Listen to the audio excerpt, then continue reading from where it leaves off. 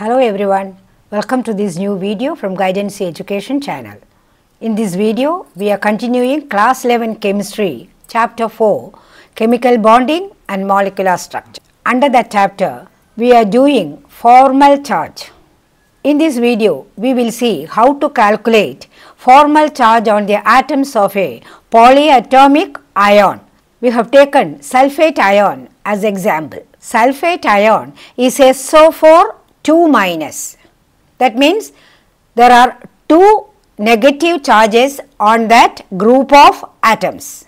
Before we go into the details, I am Anandavalli. I welcome you all to this new video from Guidancee Education channel.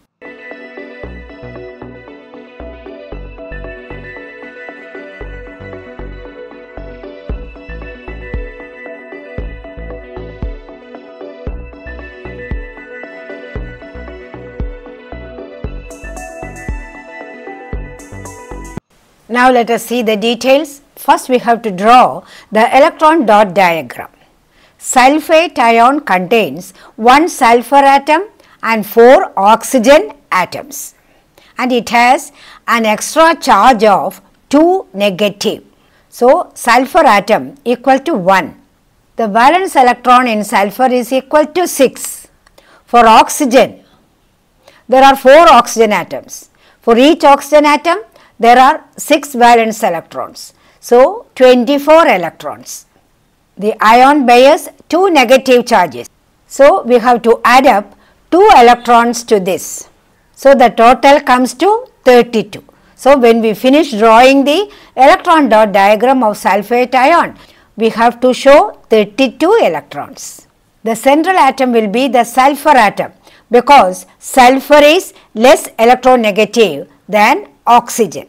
So, we first show sulfur. Let us first represent 4 single bonds for 4 oxygen atoms. 4 electrons in the valence shell of sulfur atom is used up. 2 electrons remain. Show the 4 oxygen atoms bonded to sulfur atom. For each oxygen atom, 1 electron gets used up for forming this single bond. For convenience of explanation, we will number these oxygen atoms as 1, 2, 3 and 4. For oxygen atom number 1, there are only 7 electrons including the electrons of the bond. There should be octet. It needs one more electron. So, one of its electron shares another electron with the sulfur atom forming a double bond. For sulfur atom, only 4 electrons have already been used. It has a balance of 2 electrons. So, one such electron is used for forming this double bond with oxygen atom number 1. Now, the octet is completed for oxygen atom number 1. 4 electrons are shown in the double bond and the remaining 4 electrons remain as 2 lone pairs. When we come to oxygen atom number 2, it also has only 7 electrons in its valence shell including the bond that is formed with sulfur atom. It also requires one more electron. So, one of its electrons shares with another electron of the sulfur atom and forms a double bond. So, we find oxygen atom number 2 as per this diagram also forms a double bond with sulfur atom. You can show the double bond with any other oxygen atom as well. We will learn all these details when we come to resonance. Coming back to sulfate ion, we find that all the 6 electrons of sulfur atom is used up. No more electrons are available from sulfur atom. For oxygen atom number 2, 4 electrons are there in 2 bonds and the remaining 4 electrons remain as 2 lone pairs. Now, oxygen atom 2 has 8 electrons. Octet is completed. Now, when we come to oxygen atom number 3, it has remaining 5 electrons in its shell and 2 electrons in the bond. So, it also has only 7 electrons. We can show 2 lone pairs and one single electron, but one single electron cannot remain as such. So, it uses one more electron from the extra electron in the two charges shown there. The whole ion has two negative charges that is two excess electrons. One of that electron is used here to complete these three lone pairs. You can also consider that that electron is used for forming the bond and the 6 electrons of the oxygen atom remains as lone pairs. Anyway, now the oxygen atom number 3 has completed the octet.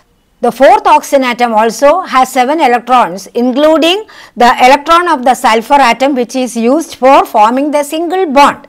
It also uses the additional 1 electron from the extra 2 charges.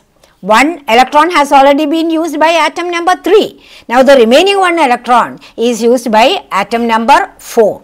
So, atom number 4 also has 8 electrons now. So, there are 3 lone pairs and 1 bond making it octet. Now, let us verify whether 32 electrons are shown.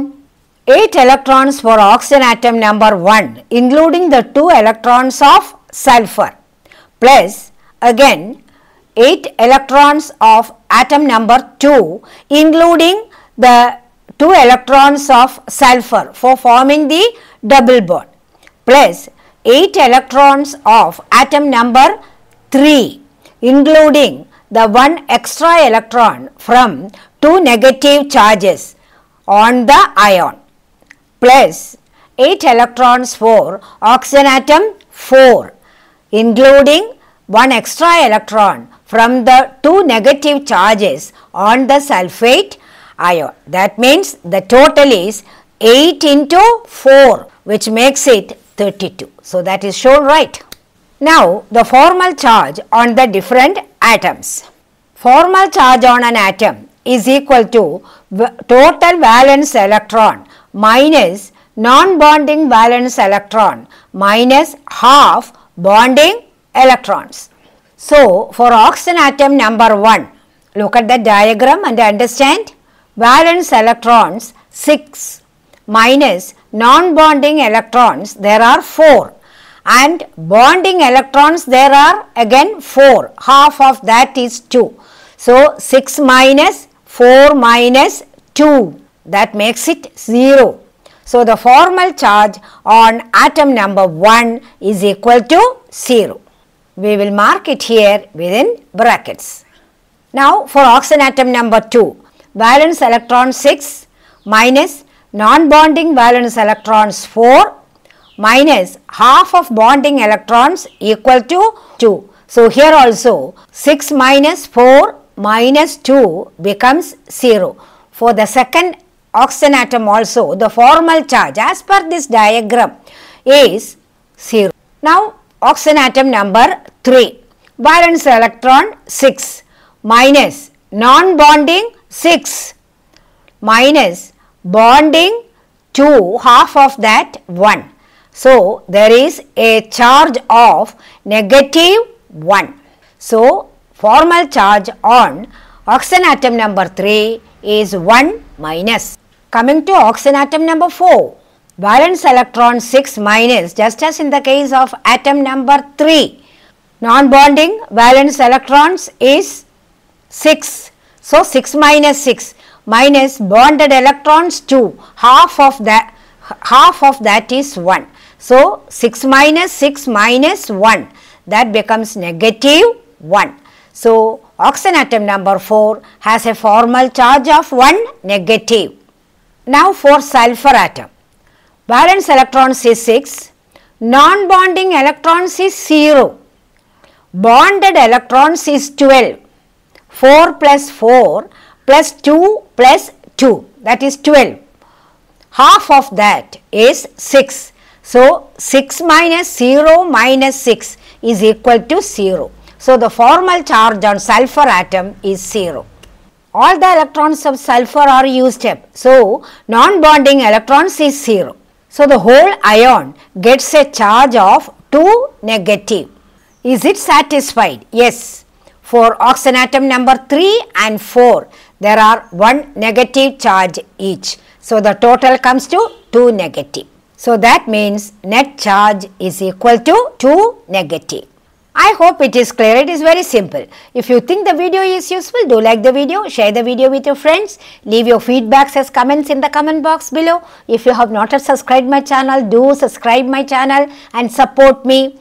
Press the bell button and all button for notification of more videos like this. Thank you very much. We will meet in the next video with another important topic like this. Till then, bye. Take care.